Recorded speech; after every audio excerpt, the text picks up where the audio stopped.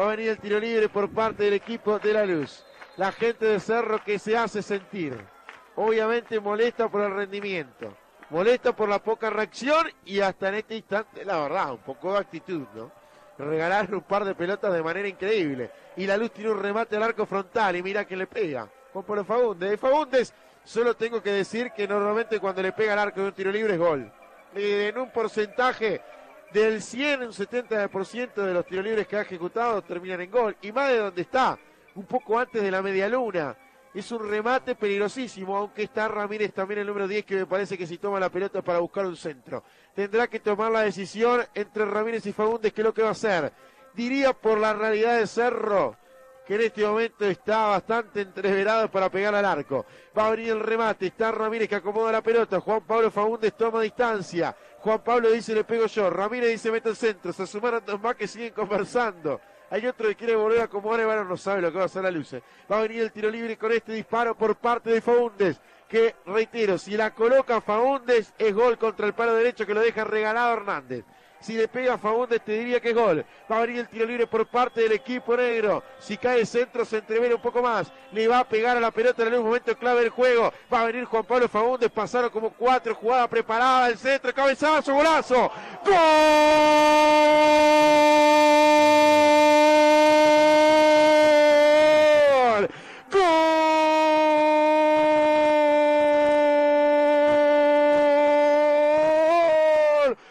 Sebastián Cardoso, pero qué jugada, qué jugada espectacular, brilló acá la estrategia de Julio Fuentes. Pasó uno, pasó dos, pasó tres, pasó el cuarto y le metió el centro un equipo de Cerro que está en otra. No está acá en el troco, le está paseando por el barrio, está distraído y de esa manera se filtró. Cardoso suelto para en la fortaleza de la luz para que la luz esté ganando el encuentro a los 12 minutos 1-0. Cerro no reacciona, la luz lo noquea, golazo y pico para aplaudir y aplaudir a una jugada de pizarrón maestra de un entrenador que es el mejor de la B. El de Julio Fuentes gana la luz, la luz 1 Cerro 0. Qué golazo. Del laboratorio de Julio Fuentes pasaron tres jugadores por arriba de la pelota en ese tiro libre y como con un guante Tiago Ramírez mete esa pelota sobre el punto penal y el que se desprende, el que aparece totalmente solo es el zaguero número 3 Sebastián Cardoso. Logra conectar de cabeza, cambiarle la trayectoria a la pelota, meterla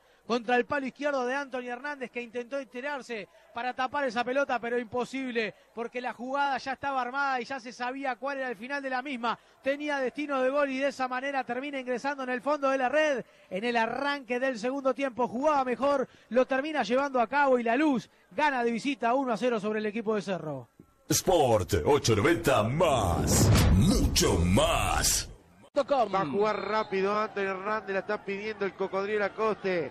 Va a demorarse Anthony con su salida. La gente le grita. El buen pelotazo por parte del arquero balón que va a caer en zona de ofensiva. Domina Mauren Franco. La va matando de pecho. Mauren pelea. Mauren la perdió. Y se viene la luz en cara. Jugaron para Sequeira. La pelota la termina cortando bien, atentamente. Otra vez el equipo de Cerro con el cocodrilo. La coste con el cambio de frente para Anthony Sosa. Gana bien por arriba el merengue. Va luchando Carlito Muela. Pelea Muela. Le quedó Anthony Sosa. Enganchó. Sigue Anthony. Tocó hacia el medio. Revienta la pelota a la luz. Aparece para recibir otra vez el cocodrilo, giró la coste, la coste la juega a su costado, va para Vero, Avero con el pase, le quedó a Mauricio Núñez, está dentro del área, atención, puede estar el empate, Maurer, el toque atrás, el disparo, ¡Gol!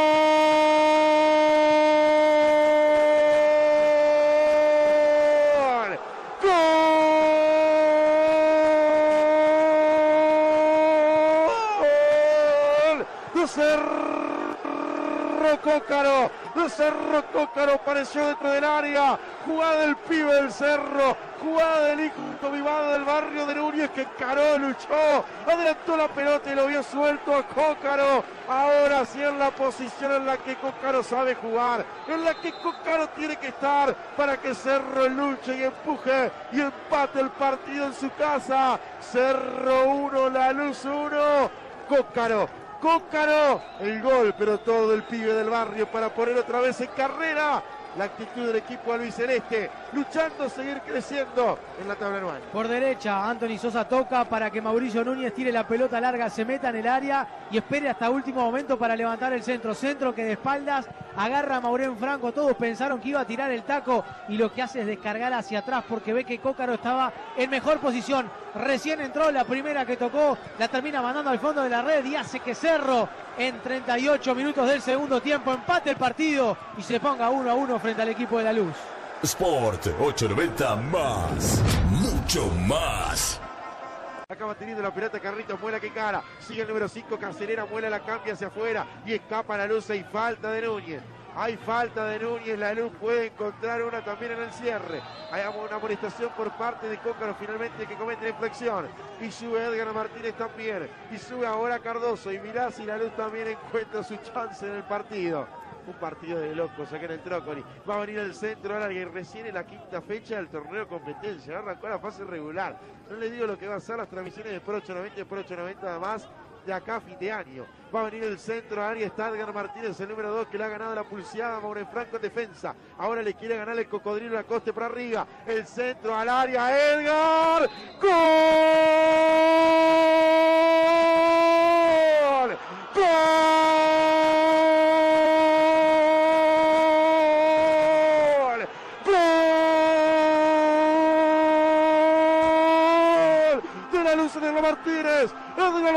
Apareció suelto en el segundo palo. Nadie lo marca hoy. Metió un cocazo de gol. Un cocazo que marca la carrera de Edgar. Realmente espectacular. Que decidió volver a los 43 años para jugar al fútbol.